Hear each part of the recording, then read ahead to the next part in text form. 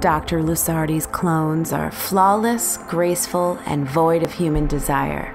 Introducing her latest breakthrough, Elysia. I'm 16, the youngest ever to be cloned. Oh, and how does that make you feel? I feel excited. Excellent. You simulate human emotion flawlessly for a beta model.